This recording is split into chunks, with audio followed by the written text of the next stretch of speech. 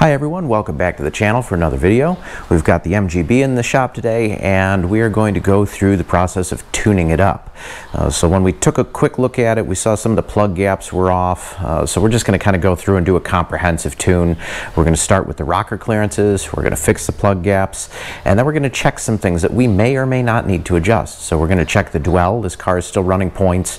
Uh, finally, we're going to check the timing and then we will check the carburetors. Uh, you usually don't have to adjust the mixture in these.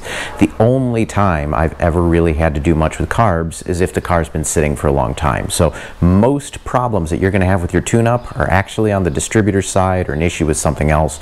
So we're going to take a look, go through those steps, and hopefully this helps somebody. So let's get started.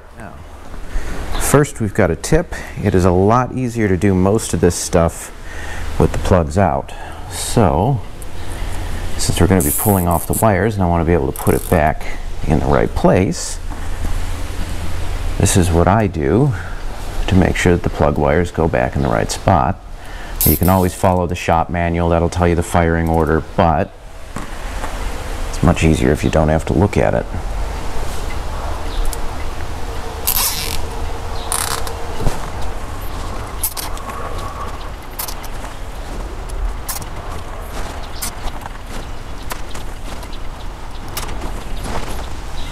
Careful not to tie the zip ties too tight or you'll squeeze the electricity.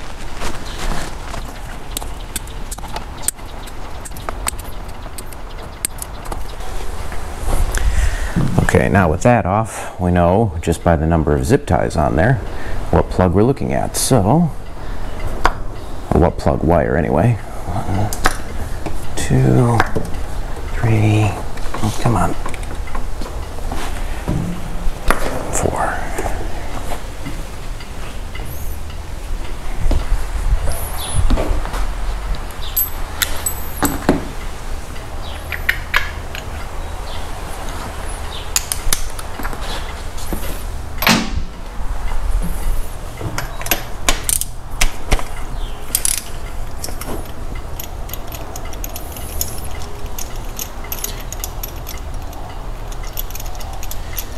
The order the plugs go back in doesn't matter so much, but the order that the wires go back in does. So set your plugs aside though so that you know when you look at them if there's an issue with a cylinder that you can tell from the plug, you'll know where it's coming from.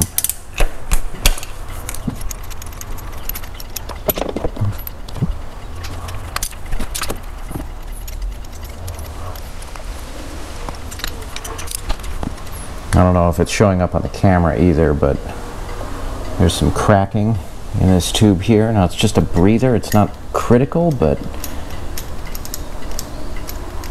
I normally would say replace, well not normally, I would always say replace those hoses if you can, because that could lead to running issues.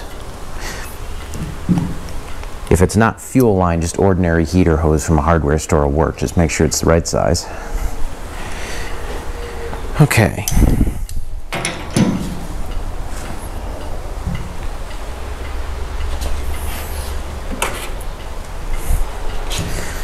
Start by inspecting our plug. So the color of it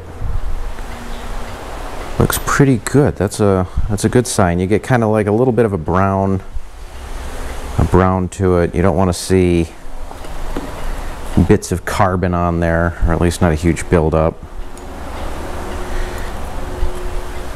And this is gapped pretty big for car running points. That one is smaller.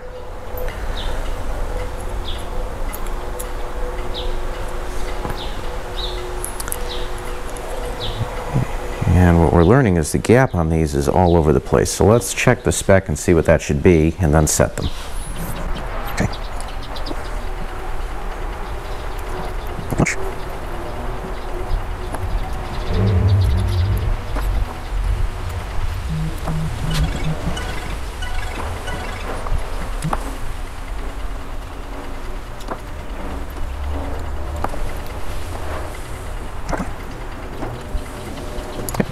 Okay, now, plugs are gapped right, but we're going to actually move them out of the way for this next test.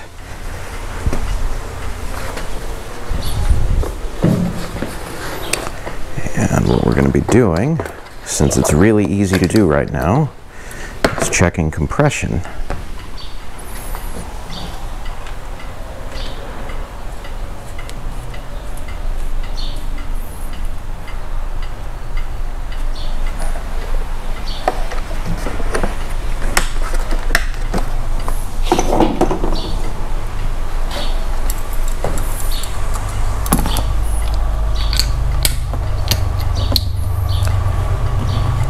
Obviously the engine is not going to start right now, but you get your gauge in, make sure it's in neutral.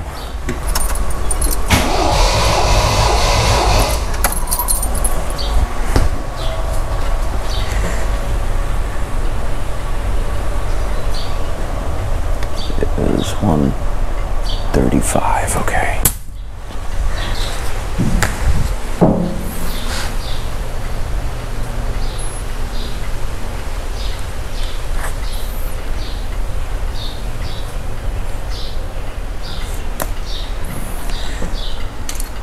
Question that gets asked a lot is what compression is good. Um, it's not really relevant. Your gauge isn't necessarily going to be accurate in the first place, and then, uh, especially if you've got a cam, um, if you've upgraded your cam at all, you might have a lot of overlap. You could have low compression, but when the engine's running, it'll be higher. So it's really kind of a useless number almost. What you're looking for is to see how far apart are they. So generally within 10% is the number you're looking for.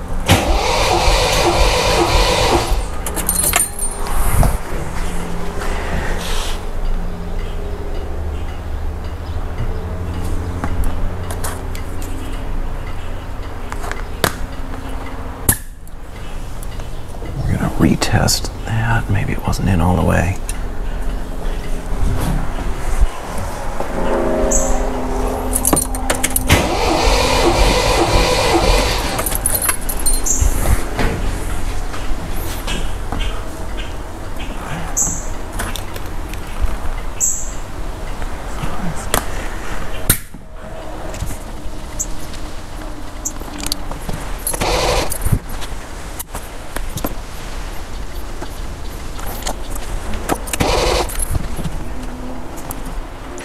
Okay, so we've got 135, 125, 125, actually it's close to like 137.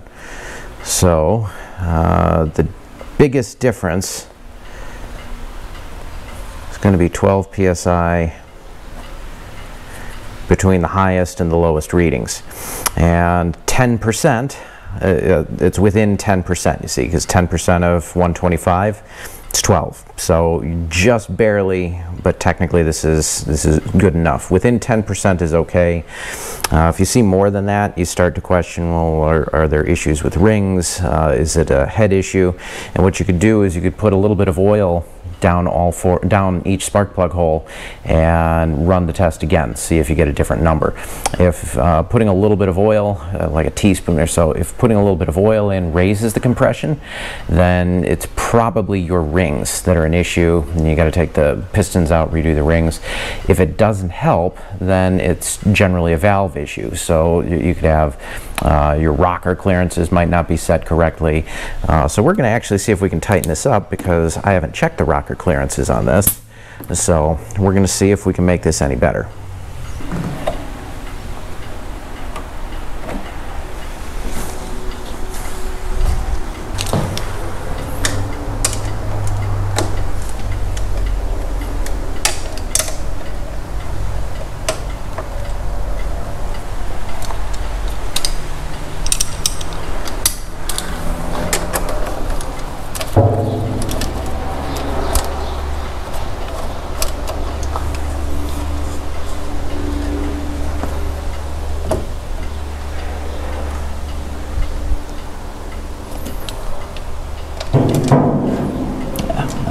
enough room. That's okay.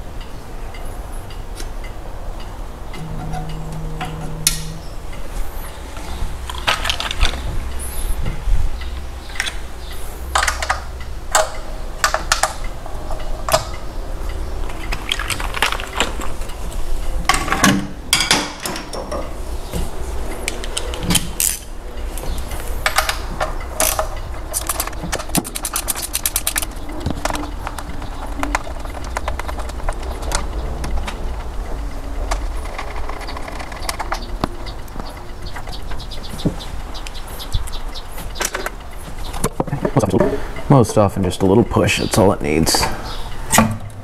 All right, set down your rocker cover.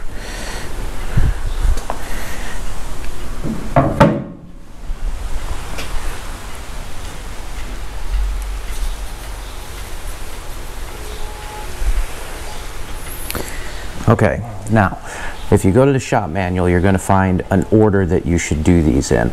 Um, if, whether you don't have a shop manual or if you just don't feel like looking for the page, the easy way, draw a line down the center of the engine, an imaginary line, don't actually get on a marker, okay?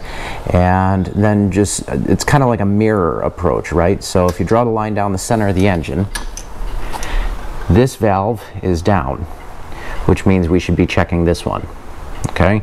Uh, if it were number two that were down then we should go over here to number seven. Now we should check that one.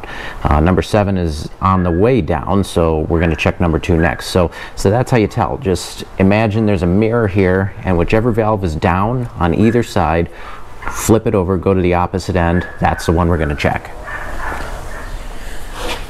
And by the way, the way that the camshaft is, is set up, uh, I don't have one here to show you. The way that the camshaft is set up is there is a lobe on it, but the entire rest of it is just rounded. It's, it's not like it's higher on the extreme end than it is on the side. So if the valve isn't all the way down. It, it, doesn't have to, there's not a perfect spot basically, as long as it's not anywhere on the lobe. The lobe's not going to be more than half the camshaft. So if you've got a valve that's down or, or mostly down, you're generally safe to check the other one. And that actually is pretty little on the tight side, but pretty close actually, so we're going to leave it. Again, that's what we're looking for. You want to be able to slide in your feeler gauge, feel some resistance, and pull it back out. If you can wobble things around, it's too loose. If you can't, then it is too tight. Now, okay, so to adjust the valves, we just did the mirror approach. We got two of them got down. Now we need to rotate the engine. And so an easy way to do that is to go around. We're going to put this in neutral just so we can roll it back.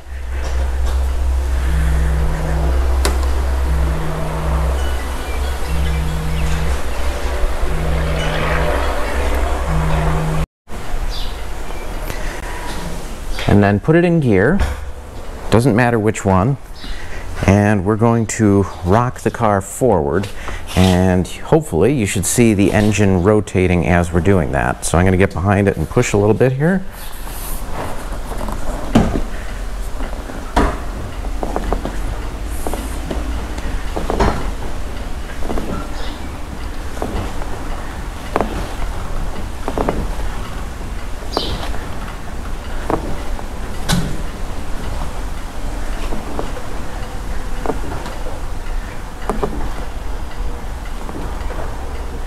There we go, see? Valves one and three now are on the way down.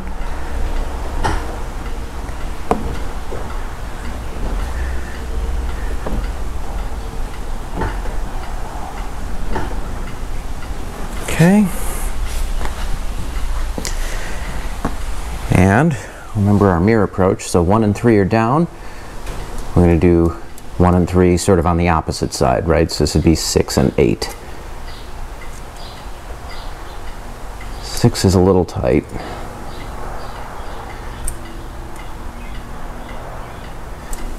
Eight's okay. So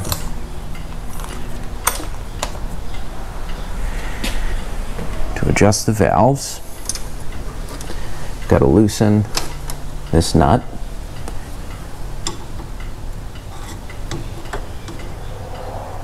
then you want a screwdriver on this. So this is what actually adjusts how much gap there is. And you want to adjust it until, again, you can get the feeler gauge in, slide it right back out. There are different tools that make this job easier, but honestly, this isn't that difficult. Okay. Once that's done, Make sure your valve is Or make sure your adjuster, sorry, is tight. And double check it. Perfect. Okay. You know what? This one was a little bit on the tight side too.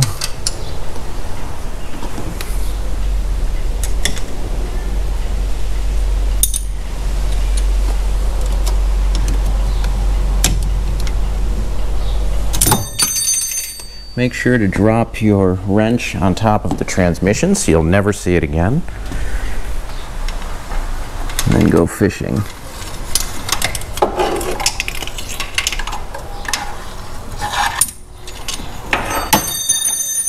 It's on the floor, good. You definitely need some of these magnets if you are working on these.